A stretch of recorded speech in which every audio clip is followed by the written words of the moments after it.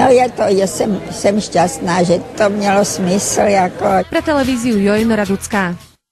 Prvá dáma československého šanzónu Hanna Hegerová repuje. S mladými českými hiphopermi vytvorila zaujímavé spojenie. Zarepovali si českú hymnu. Ako mladé dievče,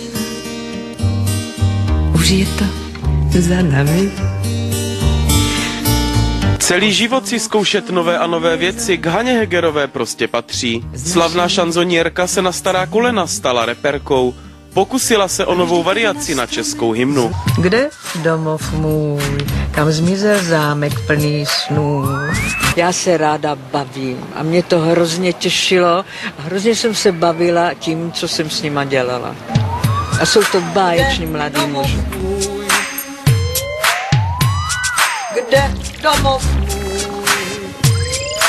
Kdyby u nás letěl hip-hop dřív, dala by se jistě Hanna Hegerová na cestu světoznámé reperky. Jo, zcela jistě. Já mám Zcela jistě, no kdyby mi bylo o těch 50 let míň, no, nebo 60 let míň.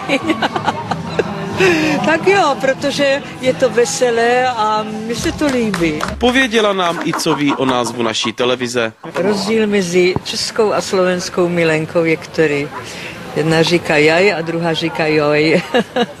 Národné Slovensko zamíří jen občas, nepřeje jí zdraví. Můj zdravotní stav mi to nedovolí a když jedu na Slovensko, tak jezdím do Bratislavy, kde velmi ráda dělám program s panem Lasicou. Po plánované operaci Kyčle by se však mnohé mělo změnit. Dají mi nový stříbrný nebo platinový, nevím, musím se rozhodnout, nebo brilanta mi vykládaný kloubek a pak budu jak ta laňka, běhat, skákat, trošku, nešikovně možná, ale s chutí. My přejeme Haně Hegerové ještě mnoho okouzlujících vystoupení, ať už ve stylu šanzonu či repu. A nakonec pozdrav na Slovensko. Že je zdravím, že je moc zdravím a že jim držím palce. Pro televizi Joj Bedřich Prokop.